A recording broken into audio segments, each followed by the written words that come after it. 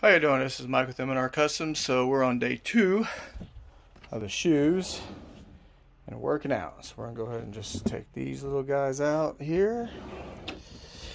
And then we did go to Louis uh, about six months ago. And this is kind of a rare thing is that we got these boots right here, but they had no more boxes. So they actually gave me the shoe box normally they actually take the shoebox and destroy it and then you know they put your stuff in one of these boxes actually.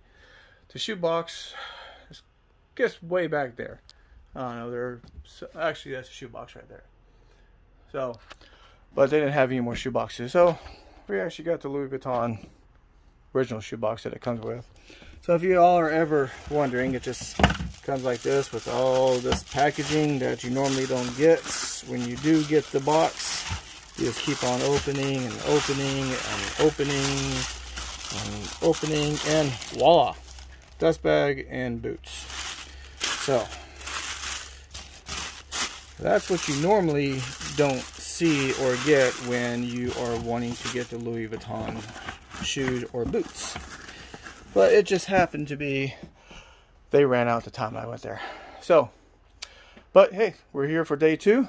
And on I got the Giorgio Armani shorts that I picked up that I've been running in a couple days because everybody, know, everybody just says how fashion clothes, they fall apart if sweat gets on them. Who knows? So I guess we'll find out. All right. Hi.